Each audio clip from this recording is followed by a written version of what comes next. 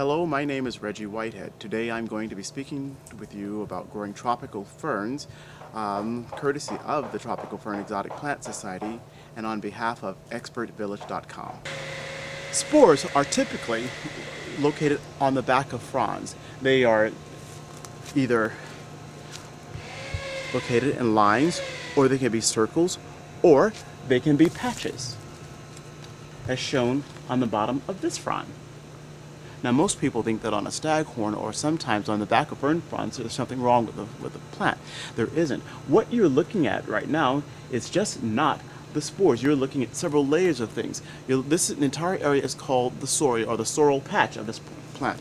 On this plant, which is an Asplenium tenerum from Southeast Asia, these little lines are the sori, and within the sori, we have something called the sporangia. Within the sporangia, we have something called the annulus, and then we get finally get down to the little specks of dust, which are the spores for these plants.